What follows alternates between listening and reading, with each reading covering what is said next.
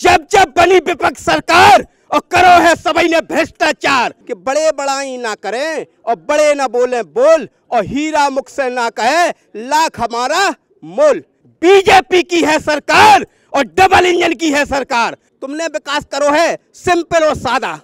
और बोले जो हुक्के विकास करो है वे तो हैंगे नरोत्तम दादा। नमस्कार मैं ऋचा कौशिक आप देख रहे हैं एन भारत। अभी हम मध्य प्रदेश के दतिया में मौजूद है जहाँ पे बीजेपी कार्यालय में अभी हम है।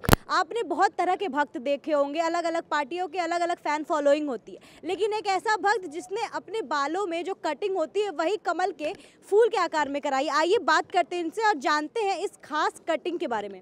नाम क्या है सर आप बालकिशन कुशवाहा। क्या? बालकिशन कुशवाहा। अच्छा। ये जो आपने अपने बालों में ये कटिंग कराई हुई है एक बार आप हमें दिखा देंगे हमारे कैमरे को। जैसा कि आप देख सकते हैं, इन्होंने अपने पूरे बाल में कमल के शेप में, कमल के आकार में कटिंग करवा रखी और बीजेपी लिखवा रखा है। ये जो बीजेपी के प्रति आपका प्रेम है, ये क्यों है? एक बार घूम जाइए। देख आप देख सकते हैं इनके बालों में जो कटिंग है भगवा रंग से इन्होंने बीजेपी लिखवा रखा है कमल बनवा रखा है अपने सर पे। तो ये जो आपके बालों में अनोखी सी कटिंग है अनोखा हेयर स्टाइल है ये क्यों क्यों है? जी सर मैं बीजेपी का धुआंधार प्रचारक हूँ योगी जी मोदी जी का अनोखा भक्त हूँ। जी सर बीजेपी का प्रचार करता हूँ लेखक हूँ कवि हूँ और फ़िल्म कलाकार भी हूँ बीजेपी का धुआंधार प्रचार भी करता हूँ। बीजेपी के प्रति जो आपकी ये निष्ठा है ये प्रेम है इसकी कोई वजह? अच्छा काम कर रही है बीजेपी सुन ली अच्छे काम जो आप हमें गिनवा सके बीजेपी के द्वारा। बीजेपी के द्वारा। अभी हाल बताता हूँ पहले तो आप विपक्ष का सुनिए। जब जब बनी जब जब बनी विपक्ष सरकार और करो है सभी ने भ्रष्टाचार। जनता पर खूब किया है अत्याचार नियम सब तोड़ डाले। बीजेपी की है सरकार और डबल इंजन की है सरकार। देश में प्रदेश में विकास के डबल ही चल रहे कारोबार।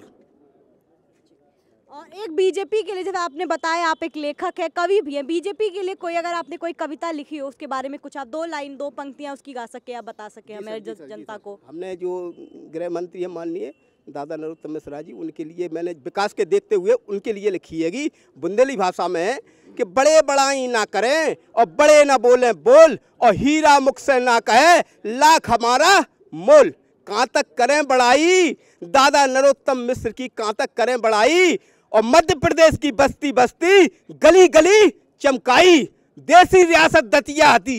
देसी रियासत दतिया हती सो ऐसी दही बनाई और इनकी विजय हमेशा रहे। कृपा करे पीताम्बरा माई। माई की जय। विजय। भाजपा के समर्थकों को देख के लगता है कि उनके अंदर काफ़ी उत्साह है और जो ये अपने पार्टी को जिस तरह से ये सपोर्ट कर रहे हैं तो ये जो मध्य प्रदेश का जो विधानसभा चुनाव 2023 चल रहा है, आप लोगों के हिसाब से कौन विजयी होगा इस चुनाव में? केवल विजय तो हो चुकी है। बहन जी, मैं आपको बतलाऊं, ये तो तेईस है, आगे चौबीस आ रहा है। उनको ये ये वो भ्रम फैला रहे हैं कि वो हमारी हवा चल रही है लहर चल रही है कुछ किया ही नहीं है उनने। मैं आपको एक बुंदेली भाषा का बताता हूँ। दो मिनट का हैगा कि जब विपक्ष वाले जब गाँव में जाते हैं तो हमारे बहन और भाई वो से कहते हैं कि हमने भी विकास किया है हमको वोट देना। तो वो गाँव वाले क्या कहते हैं बुंदेली भाषा में? कि भैया तुमने विकास करो है सिंपल और सादा। और बोले जो हुक्के विकास करो है वे तो हैंगे नरोत्तम दादा। ली? भाई दतिया की दतिया की जाय स्थिति हती, जो पचास साल की उम्र के हैं। उनसे आप सभी से पूछ लीजिए नई जनरेशन ने तो नहीं देखा है कि दतिया के अंदर बैलगाड़ी और तांगा में जाते, जब जाके ट्रेन में, जब जाके बैठ पाते ट्रेन में। बैलगाड़ी और तांगा से चल के जाते, और जब बैठ पाते ट्रेन में, और अब स्थिति जाए के तरह तरह की गाड़ियाँ से जा रहे हैं, इतना विकास हो गया, और घूम रहे प्लेन में। जा से कद विकास। जा से कद विकास। पक्का इरादा जनता से वादा और विकास ज़्यादा इसीलिए तो भैया सब जनता कह रही कि बार बार बार बार जीतेंगे नरोत्तम दादा। जैसा कि आपने देखा हमने इनसे बात की और इनका जो हौसला है बीजेपी को सपोर्ट करने का वो काफ़ी ऊंचाई वो पे है और बुलंदियों पे है। और देश और दुनिया की तमाम खबरों को देखने के लिए बने रहे एन भारत के साथ। कैमरामैन संजय पांडे के साथ।